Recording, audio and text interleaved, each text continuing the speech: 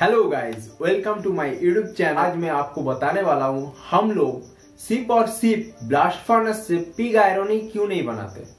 DRI process से हम लोग स्पॉन्ज आयरन क्यों बनाते हैं? डायरेक्ट तो हम लोग पिग आयरन भी बना सकते थे, लेकिन हम लोग स्पॉन्ज आयरन क्यों बनाते हैं? अगर हम लोग स्पॉन्ज आयरन बनाते हैं तो हम लोग का मेन है कॉस्ट इफ़ेक्टिव स्पॉन्ज आयरन अगर हम लोग बनाते हैं तो इसमें क्या है? इसमें है सॉलिड से हम लोग क्या कर रहे हैं? सॉलिड स्टेट में कन्वर्ट कर रहे हैं। मतलब सॉलिड को हम लोग गैस के साथ रिएक्ट करा रहे हैं। सॉलिड टू गैस का रिएक्ट हो रहा है। उसके बाद वो क्या हो जा रहा है हमारा? वो हमारा स्पॉन्ज आयरन में कन्वर्ट हो जा रहा है। हमारा जो आयरन हो रहा है, वो स्पॉन्ज आयरन में कन्वर्ट हो जा रहा है। और रही बात अगर ब्लास्ट फर्नेस की तो ब्लास्ट फर्नेस में हम लोग क्या कर रहे हैं? Iron ore lime stone coke हम लोग चार्जिंग कर रहे हैं। वहाँ पे क्या हो रहा है? हम लोग उसको मेल्ट कर रहे हैं। मतलब सॉलिड से पहले हम लोग उसको लिक्विड स्टेज में ले जा रहे हैं। सॉलिड से हमें लिक्विड स्टेज में लेके जाने के लिए हमें हाई टेम्परेचर देना पड़ता है। हाई टेम्परेचर यानी high fuel consumption high fuel consumption means high cost तो इसका मतलब क्या है? ब्लास्ट फर्नेस का जो प्रोसेस है, वो हाईली कॉस्ट इफ़ेक्टिव है। और रही बात अगर डीआरआई की तो डीआरआई में हम लोग लिक्विड स्टेज में नहीं जा रहे। हम लोग क्या कर रहे हैं, उसको हीटिंग जोन में एक सडन टेम्परेचर तक उसको ले के जा रहे हैं। वहीं पे उसको गैस के साथ रिएक्ट करा के हम लोग क्या कर रहे हैं, उसका रिडक्शन करके उसको सॉलिड टू सॉलिड कॉन्वर्ट कर दे रहे हैं स्पॉन्ज आयरन में। ठीक है आयरन ओर से वो डायरेक्टली स्पॉन्ज आयरन में कन्वर्ट हो जाता है। इसीलिए इसको डीआरआई प्रोसेस बोला जाता है। यानी डायरेक्टली रिड्यूस्ड आयरन इसमें कोई भी लिक्विड आयरन या फिर लिक्विड का स्टेज का कोई केस नहीं है। यहाँ पे क्या हो रहा है? सॉलिड टू सॉलिड डायरेक्टली हमारा आयरन बन रहा है। और ब्लास्ट फर्नेस में क्या होता है? सॉलिड टू लिक्विड लिक्विड से फिर सॉलिड हम लोग पीग और बनाते हैं। ब्लास्ट फर्नेस में हमारा जो है कॉस्ट इफ़ेक्टिव ज़्यादा रहता है। फर्नेस से जो हमारा आयरन बनता है, वो बहुत ही ज़्यादा प्योर रहता है। यानी स्पॉन्ज आयरन से ज़्यादा प्योर रहता है। ठीक है? और जो हम लोग स्पॉन्ज आयरन को बना रहे हैं, उस स्पॉन्ज आयरन को हम लोग क्या कर रहे हैं? एसएमएस में जाके उसको थोड़ा और ज़्यादा प्योरीफाई कर लेते हैं।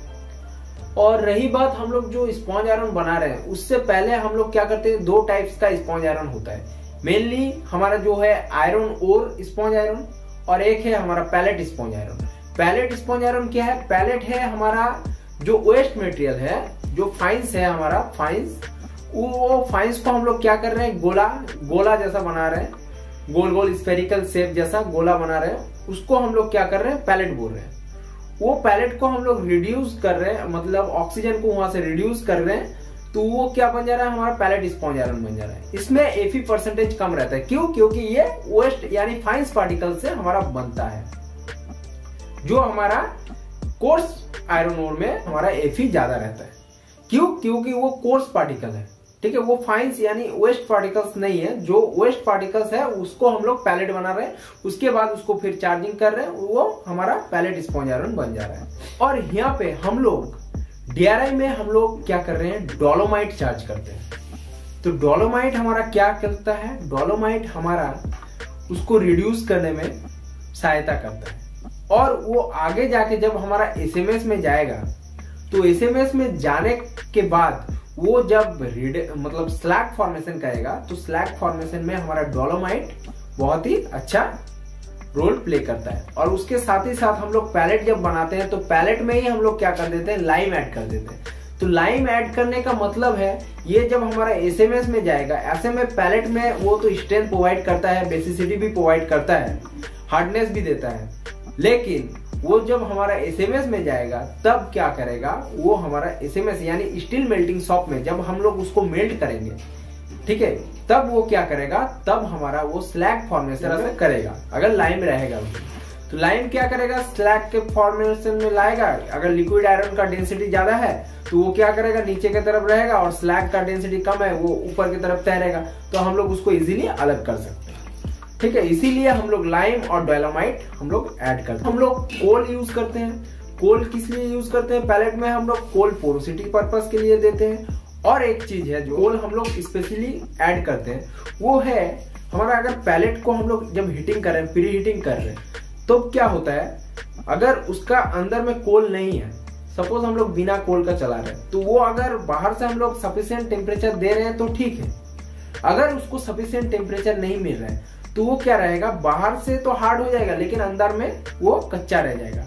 यानी वो अंदर में कच्चा रह गया, यानी उसका अंदर में स्ट्रेंथ नहीं रहेगा। वो डीआरआई यानी रोटरी क्लीन प्रोसेस में जब वो जाएगा तो वो क्या करेगा? फाइन जनरेशन करेगा।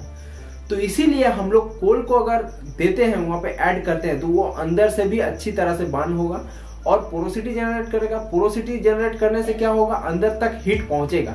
यानी वो अंदर तक कच्चा नहीं रहेगा। उसको एक सफिशियंट स्ट्रेंथ मिलेगा। अगर कोल ऐड नहीं करते तो वो क्या हो जाएगा? टोटली सॉलिड हो जाएगा। सॉलिड होने से क्या होगा? बाहरी सतह वो हार्ड हो जाएगा और अंदर का सतह वो कच्चा रह जाएगा। कच्चा रह जाने से क्या होगा? कच्चा रह जाने से उसमें स्ट्रेंथ नहीं रहेगा। वो हमारा डीआरआई में जाके फिर से फाइनेंस जनरेशन करेगा। तो इसीलिए हम लोग का कोल बहुत ही इंपॉर्टेंट है। जैसा कि हम लोग यहाँ पे बेंटोनाइट भी ऐड कर रहे हैं पैलेट वहाँ पे बेंटोनाइट जितना इंपॉर्टेंट है, हमारा कोल भी उतना ही इंपॉर्टेंट है। ठीक है? सो so गाइज़ आज के लिए बस इतना ही। फिर मिलते हैं नेक्स्ट वीडियो में। चलिए, टाटा बाय बाय